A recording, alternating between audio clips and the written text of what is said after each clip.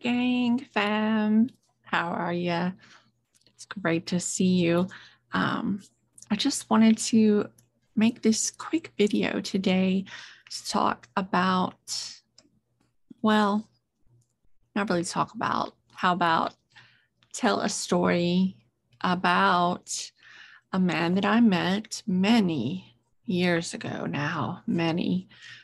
Um, a great author. Uh, his birthday is actually today. And I wanted to talk about uh, the, the meeting that we had. And I actually found a paper that he wrote about our meeting. So I would like to read that story to you now. Um, glasses.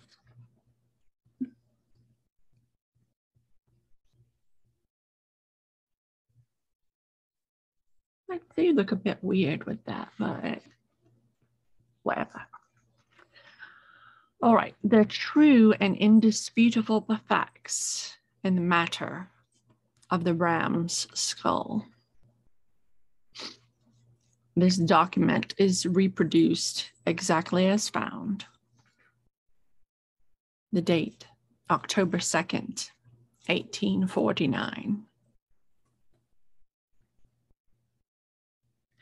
My first encounter with the gentleman who, for his own purposes of anonymity, preferred to withhold his full name from the company and went simply by the sobriquet of the doctor, was scarcely five hours ago, when, at the behest of two other doctors of my acquaintance, Parsons and Wolfson, I had found myself entering the house of a certain Mr. R, a scholar and man of letters, of whom I was cognizant, but whom before this very evening I had not met.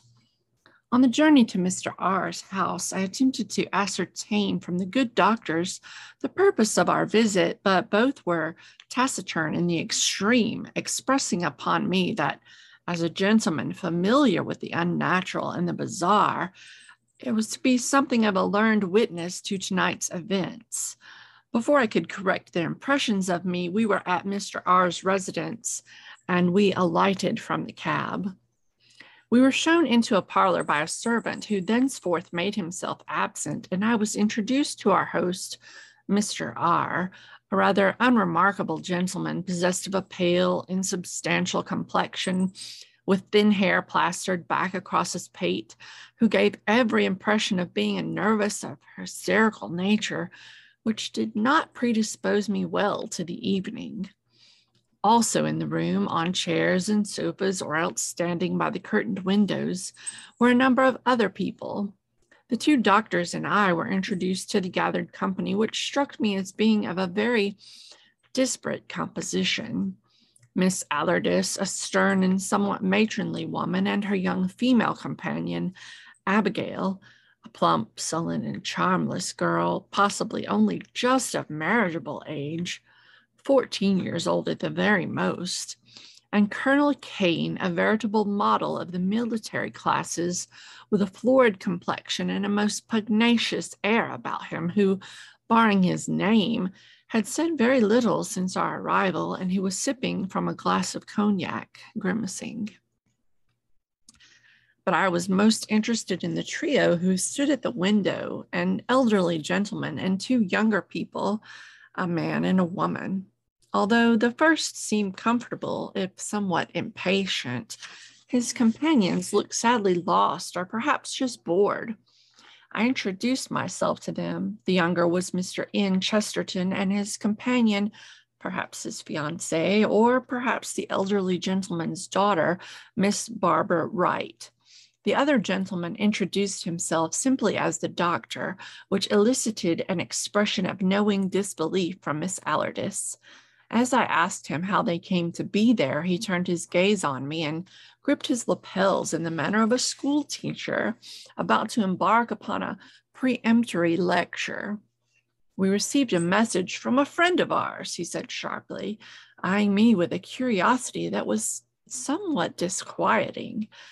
I asked him if we had previously met, but he smiled a most disarming smile and shook his head, saying that although he had not yet had the pleasure, he was fully acquainted with my works. I was on the point of questioning him, of attempting to ascertain further his provenance, when Mr. R gave a short cough and we all turned our attentions on him. He was standing in the doorway to the back room, his arms extended to hold out of the way the heavy brocade curtain that covered the door, with the clear implication that the evening was about to begin. The doctor seemed strangely reluctant to pass through. If I may ask, he said, addressing Mr. R., are we to be informed of the nature of this evening's uh, entertainment?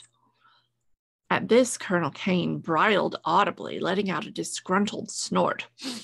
Entertainment, sir. Entertainment? I can assure you this is no evening of entertainment. My apologies, replied the doctor. The friend who secured our invitation for the evening was, shall we say, less than forthcoming about the purpose of this gathering. I am merely curious, that is all. Miss G was less than forthcoming, interjected Mr. R, because I have had to be very circumspect in my description of this evening, Doctor. I apologize for what may seem like excessive secrecy, but what I hope we will achieve here tonight is not something that I would wish to be disseminated to the public at large. At his words, I felt a cold hand grip my spine, and my eyes darted toward the still closed door to the back of the room. The doctor nodded thoughtfully, and in a silence somewhat thickened by Mr. R.'s pronouncement, we all proceeded through, myself leading the way. The windows had been draped with heavy velvet curtains, and a fire that had been burning in the grate had been extinguished, leaving the air smoky and gray. A circular table topped with a dark baize cloth filled most of the room, and around it were ranged enough chairs for the gathered company. But what drew my and no doubt the other's eyes was the object that Mr. R had placed in the center of the table, positioned carefully on a small dais of dark wood. It was a skull, a goat's skull, I first thought, although Mr. R corrected Miss Allardyce when she too commented on it presently, informing us all that it was the skull of a ram. The bone was a pale and sickly ivory color, bleached and unnaturally clean. The yellowish light from the three wall lamps stationed around the room glimmered softly on it, revealing a sheen that suggested that the skull had been polished, dare I say it, lovingly over many years. Dark ribbed horns curved and twisted out from it, their tips resting upon the cloth. Those awful empty sockets surrounded by raised ridges of sharp bone gazed up at us, and even the residual warmth from the extinguished fire was insufficient to keep a sudden chill from clawing at my bones. Inscribed precisely between those sockets in the flat of the forehead was a clearly recognizable symbol, a five pointed star, a pentagram, that most ancient of occult devices. Being the first into the room, I had the opportunity to observe the reactions of the other participants in tonight's entertainment, as the doctor had put it. The colonel gave the skull a most cursory glance, and I wondered briefly if perhaps he had seen it before. Indeed, it was possible that he had supplied it to Mr. R. I knew little of the colonel, although I had heard of him by reputation. He was a stalwart of the Long Ridge Club, where rumor had it he often held court at tedious length about his African hunting trips and expeditions to Egypt, so it was quite plausible that this skull had been one of his trophies. His cognac glass still in his hands, the colonel sat down heavily in one of the chairs as Miss Allardyce and her ward entered. whilst Miss Allardyce seemed clearly disturbed by the animal remains. Her hand flew to her mouth in a somewhat parodic gesture, which I had to stifle a laugh. The child stared at it in what I can only describe as awe. There was certainly something ghoulish in the way she was drawn to it, her chubby fingers pawing at the thick cloth on the table. Mr. R was standing further into the room, watching with a fascination equal to mine the reaction of Abigail. Her mouth fell slightly open, her fat pink lips glistening with saliva as her bright eyes darted around, drinking every detail of the mm-hmm. macabre exhibit. She was only cut short by Miss Allardyce, who whispered curtly that it was rude to stare and pulled her around the table to their seats. Next into the room were the doctor and his entourage. I noted with interest that whilst Miss Wright and Mr. Chesterton were drawn to the table and the skull exchanging oddly disturbed glances, the doctor himself seemed more concerned with the environs. He strode silently around, his thumbs tucked into the pockets of his vest as he examined the dimmed chandelier that hung above the table. I watched him as he took a few steps backward and seemed to be attempting to peer under the tablecloth.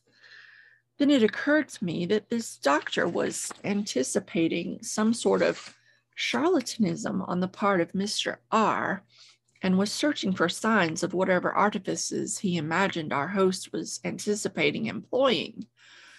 But when he did finally examine the skull and its inscribed symbol, a curious expression crossed his face, as if at the recollection of some dim and distant memory.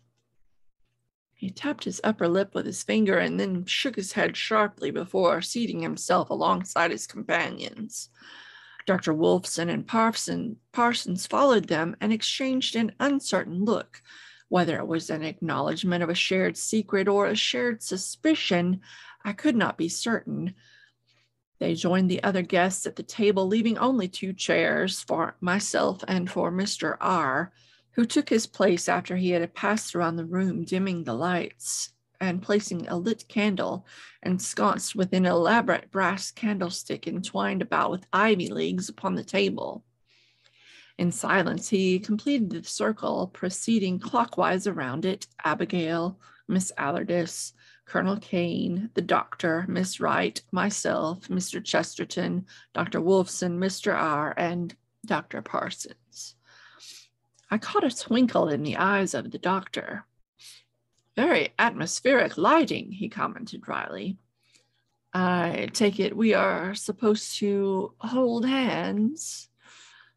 Not at all, doctor, said Mr. R. All that is required is that you keep your attention on the skull on the table. I smiled to myself at the thought that at this moment it seemed unlikely that anyone's attention was anywhere other than the skull. In the dim lamplight, its cavernous sockets seemed to gaze balefully at me, and I wished I had chosen my seat more carefully so that I should not have fallen under its countenance. Focusing our psychic energies, the doctor murmured thoughtfully, although he spoke so quietly that it was possible that I had misheard him. Perhaps, Mr. R., this might be a good time to tell us what exactly is supposed to happen. Have we come all this way for nothing more than a seance? Mr. R gave a gentle chuckle. this is considerably more than just a seance, he replied. Miss Allardyce's ward has what I believe is sometimes referred to as the gift, second sight. With her help, we shall bridge the gulf between this plane of existence and the next. At this, there was an irritated sigh from Mr. Chesterton, but Mr. R continued as though he had not heard. My intention is that she will discover for us the ultimate secret, revealing to us knowledge that only those who have passed on can know. The ultimate secret, Doctor. Immortality. Mr. R's eyes glimmered in the dim light, and again I felt a cold hand press against my heart as though attempting to still its beating. The doctor's expression remained fixed, although I sensed a certain grimness, as if this were not the first time that he'd been in such a situation. Then it is a good thing that I am here, he said with an air of finality. The room fell silent again, and the other guests turned their attentions back to the skull. As the seconds passed, a palpable and altogether unpleasant change came over the room. The air around us, which had previously been still and warm, abruptly dropped in temperature, as if someone had silently thrown open a window, and yet, as far as I could perceive, there was no attendant draft of air, and the pale, oily light from the lamps stayed as hesitantly constant as it had been before. I felt a dryness in my throat as, illuminated from the side, a thick, milky cloud issued forth from Mr. Chesterton's mouth. For one moment, I wondered if this was what I had heard of or referred to as ectoplasm, but I realized with some relief it was merely his breath condensing in the increasing cold. I saw that Mr. R was staring at me and drew my attention back to the skull. As the seconds ticked by in silence, I'm ashamed to say that I began to feel somewhat disappointed. True, the drop in temperature had been dramatic and unsettling, but since then, nothing had happened. Should we be thinking any particular thoughts? Came the whispered and, dare I say it, mischievous sound of the doctor's voice suddenly, followed by an impatient touch from one of the others, quite possibly the colonel. Please, doctor, said Mr. R., if you would be so kind as to keep looking at the. Mr. R. suddenly stopped. Looking back on the moment when his words were cut dead, I can remember nothing other than a vague sense of irritation that he had been not finished his utterance. It seems I was, regrettably, the only person to be unaware of the circumstances that had caused him to finish mid sentence, perhaps due to the fact that yet again my attention had wandered from the skull to Mr. R himself, whose eyes were gleaming wetly and maniacally. At his words, I followed his gaze back to the skull on the table. At first, I thought that the dim light, the atmosphere, and perhaps a degree of mesmerism were combining to induce some sort of hallucination, for something most peculiar was happening to the remnants of the unfortunate and long dead creature before us. In the depths of the shadows that nestled in those dreadful hollows, something moved a gentle and writhing, sinuous motion as worms rising from damp soil. Each socket seemed possessed of things alive, and I heard a gasp from Miss Wright, who, from her seat at my side, could clearly see the same things that I could. I broke off from the skull and let my eyes wander across the shadowed faces of the other guests. All but the doctor, which hardly surprised me and Abigail were staring fixedly at the skull. She was looking from one to another of the assembled group, her eyes wide and searching as if looking for some particular reaction, some specific response to the horror unfolding before our eyes. I had a sudden and inexplicable urge to pull away, to stand, bring up the lights, and fling wide the curtains, but it was as if the very air had at that moment solidified and congealed, holding me in its frigid grasp as it insinuated writhing tendrils of darkness into my marrow. I found I was unable to breathe, my chest bound tightly as though by a huge, unnatural hand, and a tingle as from a galvanic battery was playing upon my skin. Curiously, I realized I could smell roses. doctor, came a hoarse whisper from Miss Wright. I tried to turn my head, but I was held immobile by the force that had taken possession of us. All of us, with the notable and somewhat unnerving exception of Abigail, seemed transfixed.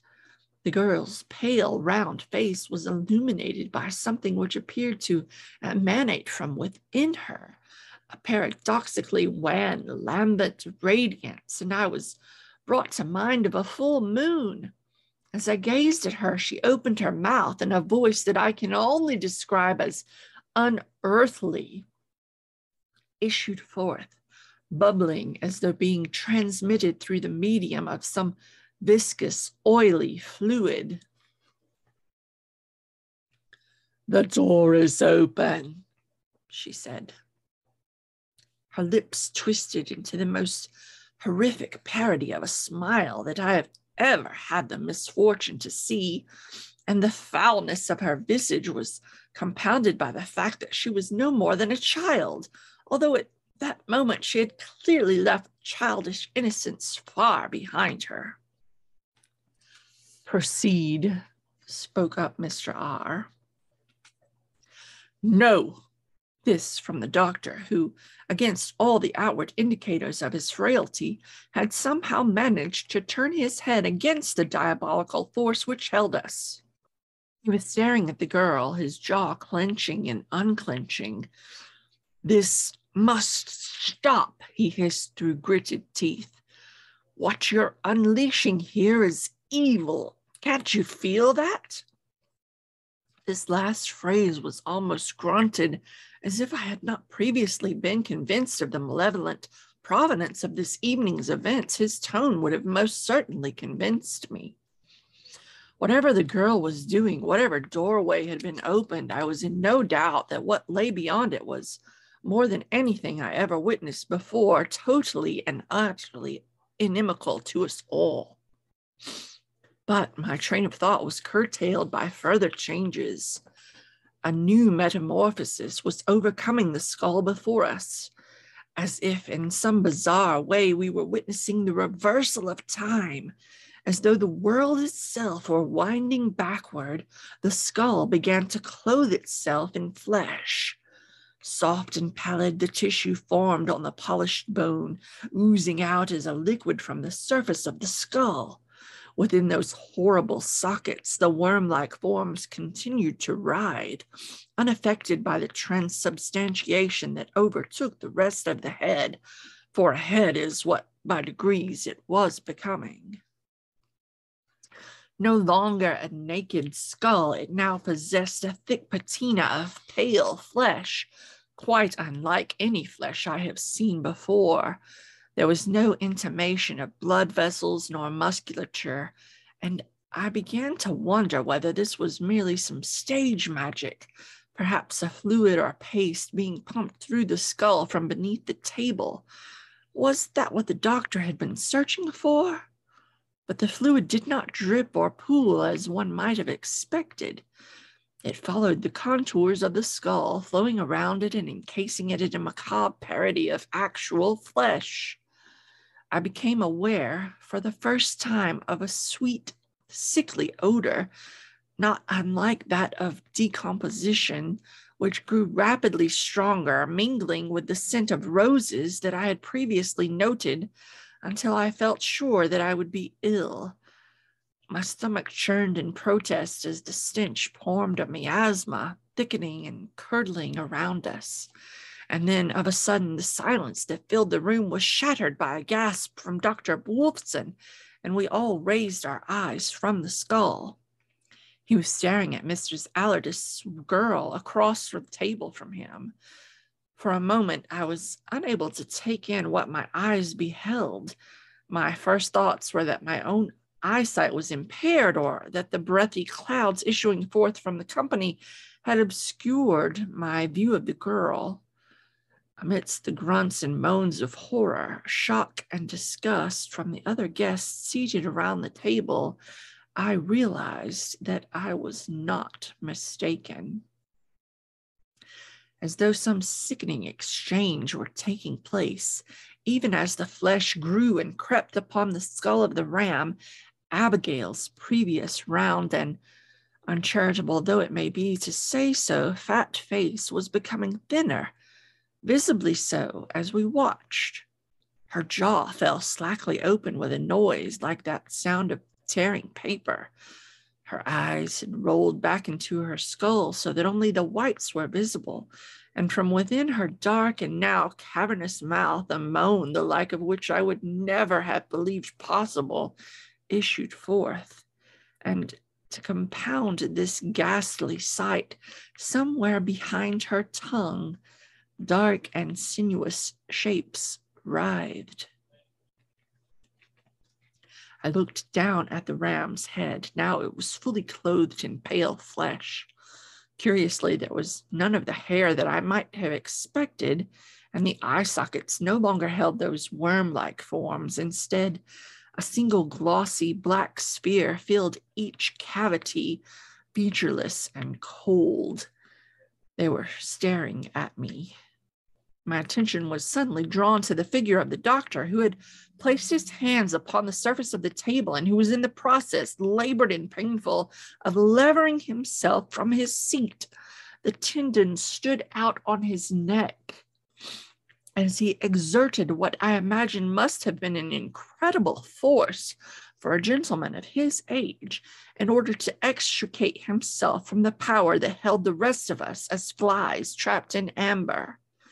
Inch by agonizing inch, as the rest of us looked on, he rose from his seat, shaking and unsteady.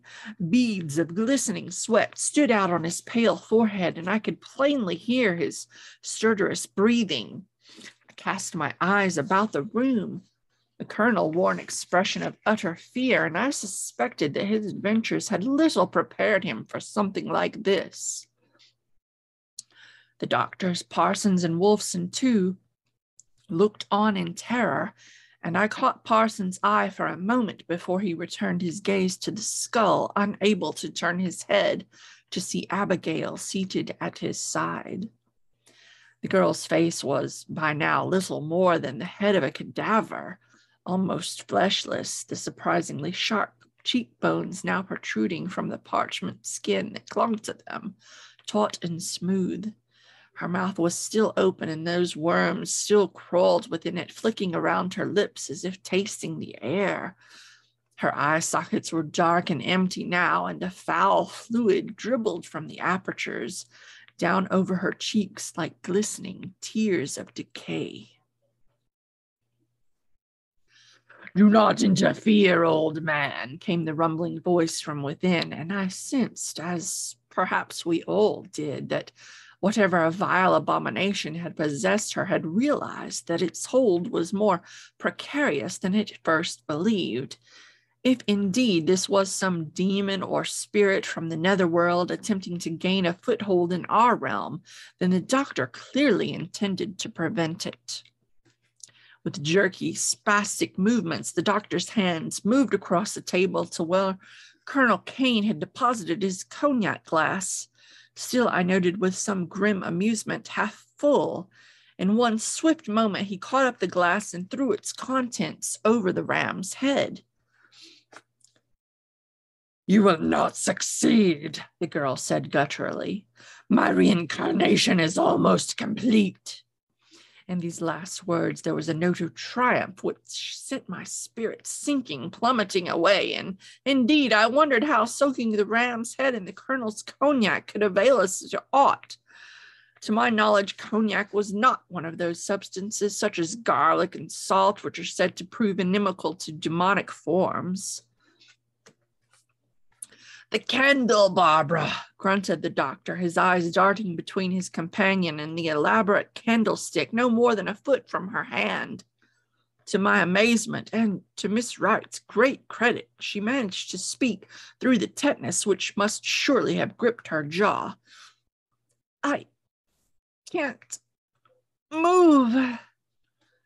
My heart sank at the helplessness that had descended upon us, and then, to my great surprise, I found a strength within me which I had previously little suspected. As, like a light coming on in my brain, I realized the doctor's plan. I found myself moving almost without thinking, which perhaps explains my ability to move at all, and threw, no, pushed my hand across the table. Contacted with the broad ivy wound base of the candlestick, knocking it over. A pale nimbus of bluish light sprang up where the flame had made contact with the spilled cognac, which in an instant raced across the intervening inches to the head and thence engulfed it, wrapping it in a flickering blue corona, curiously more intense than I would have imagined. It was as though, in a manner somehow more symbolic than literal, the flames were driving back whatever demon was attempting to invade this plane. The pressure which had pinned me in my seat lifted, and I heard a chorus of sighs and imprecations from around me as the others likewise felt themselves released. But amidst those imprecations came a low animal moan which rapidly built to a shriek. Abigail rose in her seat as if elevated by invisible strings, and we all saw that her face, now little more than a skull beribboned with tattered shreds of purulent flesh, was likewise aflame. Yellow and blue it burned, spitting and sizzling like fat in a frying pan as the poor, poor girl stood motionless, her mouth wide. The unearthly fire engulfed her head, the hair and lips and eyelids peeling back as blackened and shriveled and added their substance to the conflagration. And yet most chilling of all, she made no further movement and no effort to extinguish the flames. Like a wax dummy, she stood rigid as the flames spread rapidly down over her shoulders, igniting her dress and thence across her chest and down her arms. In God's name, cried Dr. Wolfson suddenly, shattering us all from our reveries. He attempted to rush around the table to the girl's aid, hopeless though it seemed, but he was stopped in his passage by the doctor, who gripped his arm to hold him back. I caught something of a look transpire between them, and Wolfson shrank back, his face clearly betraying his shock at the doctor's apparent callousness. In a shameful mutual silence, we watched the still burning corpse of Miss Allardyce's ward topple forward onto the table before it rolled aside and thumped sickeningly to the floor. On the table, the ram's head, charred and crisped, suddenly burst, spattering us all, and myself in particular, with the foul smelling flesh that lay beneath the blackened skin.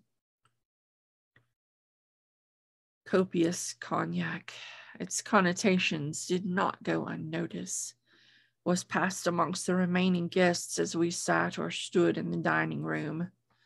Mr. R had lent me a change of clothing, which, despite being somewhat less formal than my own had been, was gratefully received, although I still imagined I could detect the stench of that room and of the skull's vile flesh clinging to me, and I felt almost disappointed that the heady rose scent that I had previously smelled was no longer in evidence.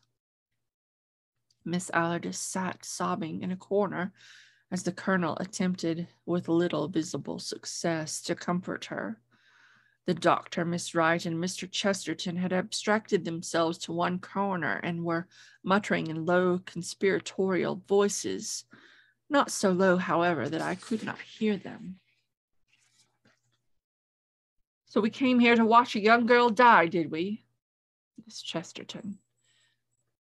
We came here to prevent something something evil from gaining a foothold on this world. The doctor sounded stern as though repeating a lecture he had given many times before. But she was just a girl, doctor, said Miss Wright, her voice choked with incipient tears. The doctor nodded sagely. A very gifted girl, Barbara, or a very cursed one. He gave a shower shake of his head, and for a moment his eyes caught mine, and I looked away. If Mr. Poe hadn't summoned up such strength and courage, I had no doubt this last was for my ears, and I felt strangely grateful and humbled.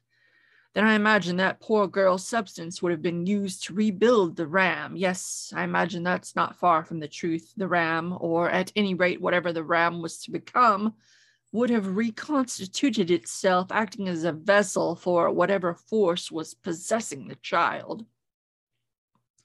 He shook his head ruefully. And thank goodness we managed to sever its connection to this plane, to drive it back where it came from. Mr. R had, it seemed, spoken to Miss Allardyce. Although I was not privy to their conversation, it appeared that some agreement had been reached between them regarding the story that they would tell to the police. No doubt some concoction regarding an accident with a candle. But what else, I asked myself, could be said that would not result in our immediate removal to a sanatorium?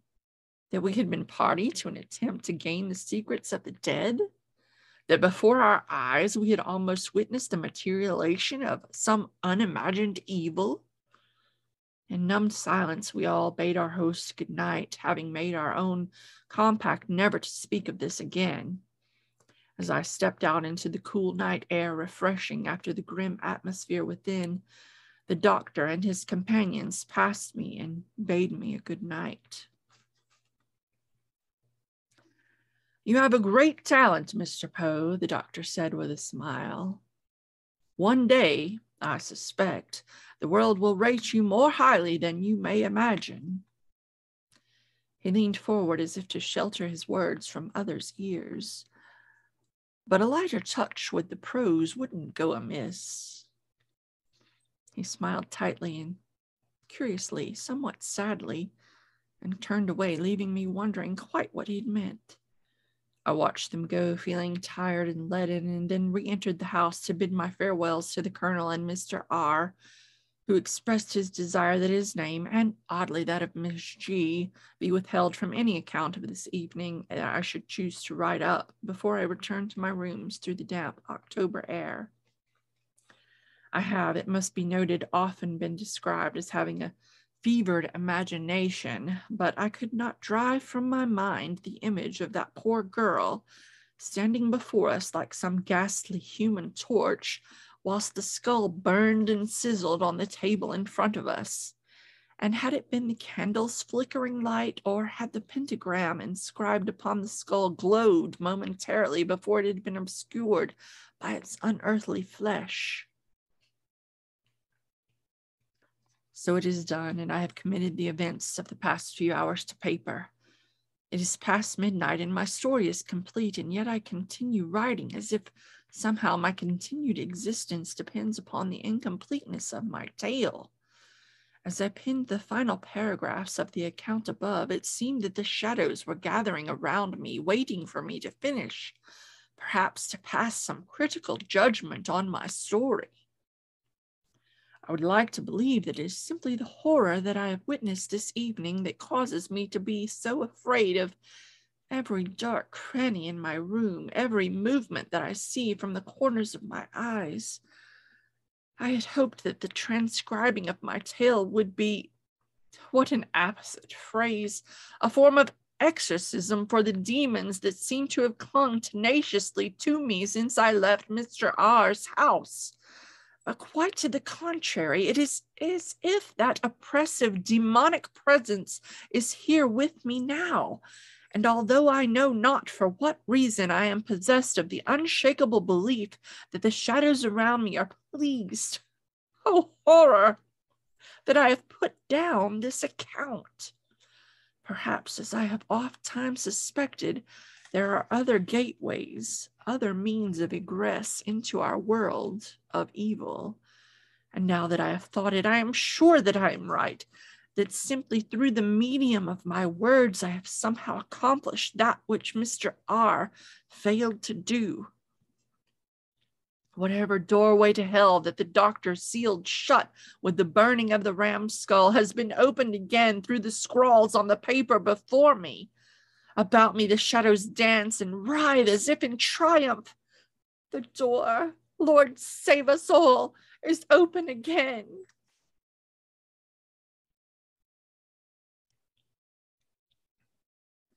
Edgar Allan Poe was found in the streets of Baltimore, disoriented and ill, on the afternoon of October 3rd, 1849, and taken to the Washington College Hospital, where he died on October 7th. The cause of death still remains a mystery, although the Baltimore Clipper described it as a congestion of the brain. Following Poe's burial, a mysterious stranger, still unidentified, visited his grave and left a bunch of roses and a bottle of cognac. This document appears to be the last thing Poe ever wrote.